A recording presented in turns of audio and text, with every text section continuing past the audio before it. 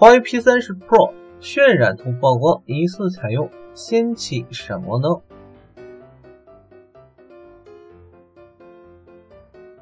今年上半年，华为 P20 Pro 以其标志性的二加一后置三摄，开创了拍照方面的新纪元。随着2019年即将到来，新一代 P 系列旗舰华为 P30 Pro 已经有相关消息传出。近日，网上传出了疑似华为 P30 Pro 的渲染图。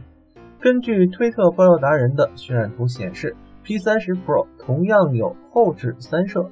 不过，P20 Pro 的二加一布局不同的是，P30 Pro 将会采用三颗摄像头整体并排布局，并有消息称，P30 Pro 有望首发索尼全新的 MX607 传感器，其拥有三千八百万像素、一点八分之英寸大底 CMOS，采用了双拜尔 HDR 编码和 HDR 像素排列。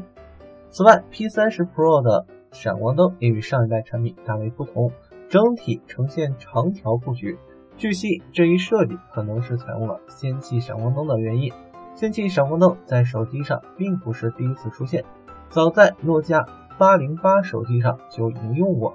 不过，由于这类闪光灯体积较大，并没有广泛的推广开来。